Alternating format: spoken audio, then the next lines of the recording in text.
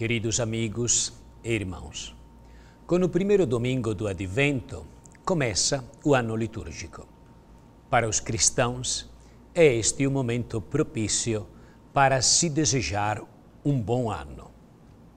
Este primeiro domingo de Advento é um momento oportuno para descobrir este caminho de oração comum aos católicos do mundo inteiro. Permite falar também da importância da prática regular.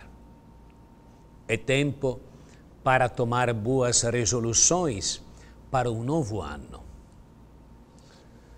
O Evangelho deste primeiro domingo de Advento apresenta-nos Jesus, o Messias, filho de Davi, que anuncia a todos os que se sentem prisioneiros: alegrai-vos a vossa libertação está próxima.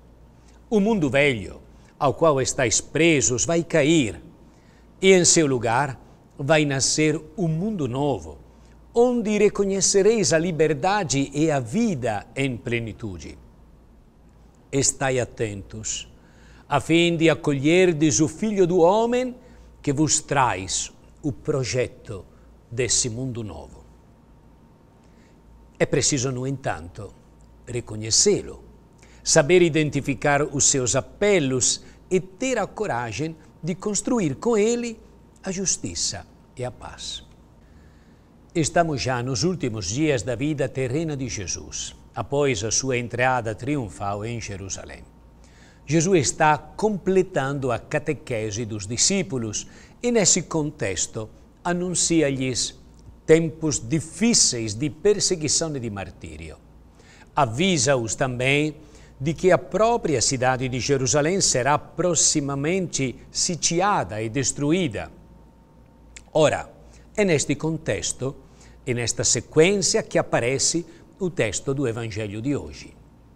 A mensagem proposta aos discípulos é clara. Espera-vos um caminho marcado pelo sofrimento, pela perseguição. No entanto, não vos deixeis afundar no desespero, porque Jesus vem.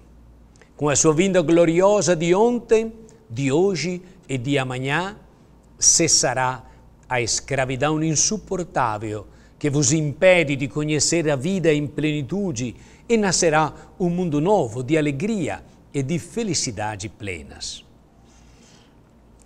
Os sinais catastróficos apresentados não são um quadro do fim do mundo, são imagens utilizadas pelos profetas para falar do dia do Senhor, isto é, o dia em que Deus vai intervir na história para libertar definitivamente o seu povo da escravidão, inaugurando uma era de vida, de fecundidade e de paz sem fim.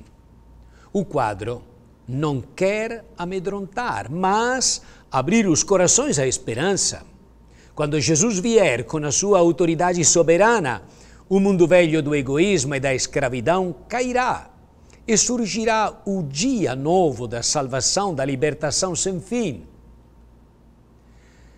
Há também um convite à vigilância. É necessário manter uma atenção constante, a fim de que as preocupações terrenas e as cadeias que escravizam não impeçam os discípulos de reconhecer e de acolher o Senhor que vem. A realidade da história humana está marcada pelas nossas limitações, pelo nosso egoísmo, pela destruição do planeta, pela escravidão, pela guerra e pelo ódio, pela prepotência dos senhores do mundo. Quantos milhões de homens conhecem dia a dia um quadro de miséria, de sofrimento que os torna escravos, roubando-lhe a vida e a dignidade? A palavra de Deus, que neste domingo é proclamada, abre a porta à esperança e grita a todos os que vivem na escravidão: alegrai-vos, pois a vossa libertação está próxima. Com a vinda próxima de Jesus, o projeto de salvação, de libertação de Deus vai tornar-se uma realidade viva. O mundo velho vai converter-se numa nova realidade de vida e de felicidade para todos. No entanto, a salvação, a libertação, que transformará as nossas existências, não é uma realidade que deve ser esperada de braços cruzados.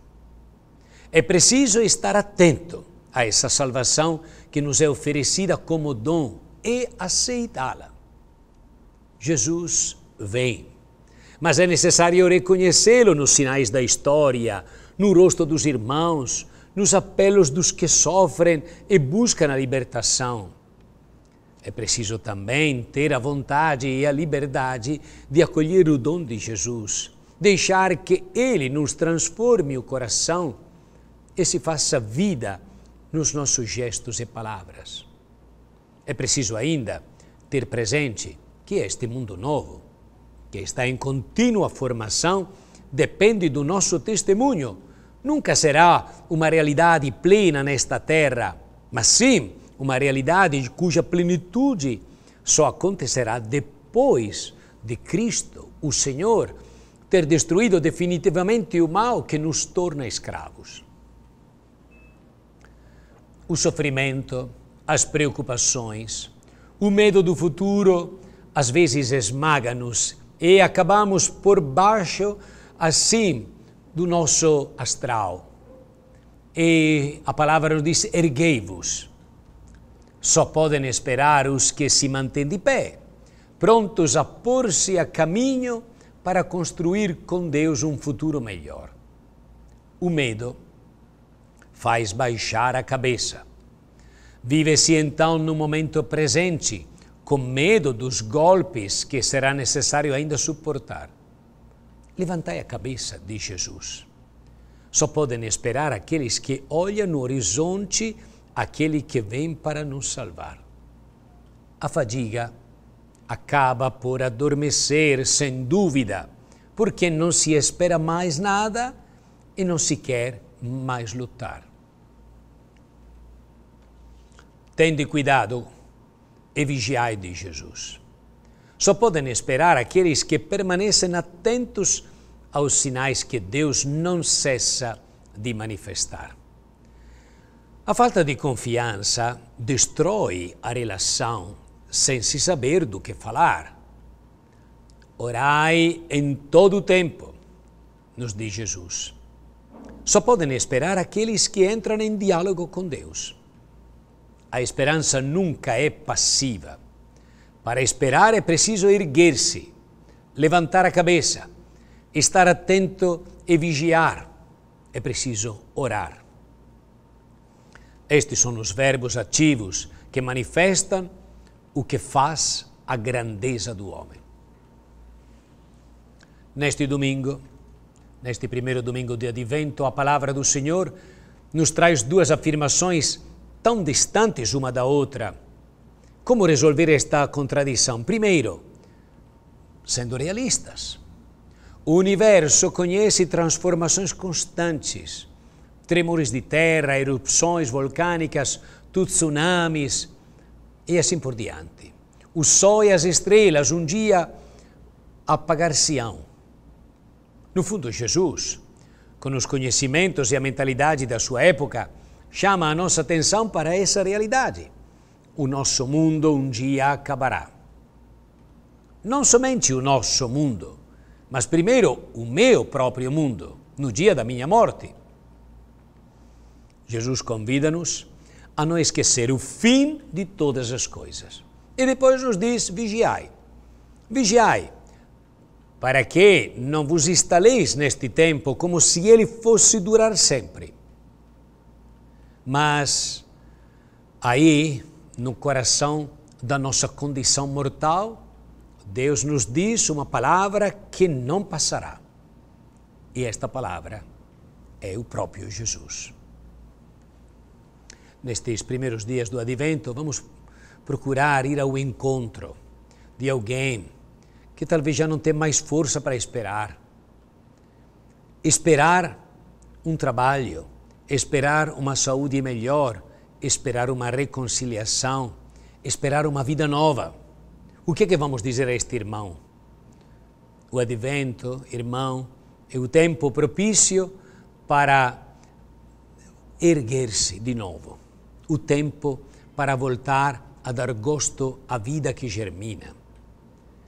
Que nós saibamos colocar uma palavra de amor para cada irmão que está precisando. Atendamos o apelo de Jesus que nos pede de orar em todo o tempo, experimentando assim a proximidade e o amor dele em nossa vida. Feliz e abençoado Advento para todos e que Deus vos abençoe em nome do Pai e do Filho e do Espírito Santo. Amém.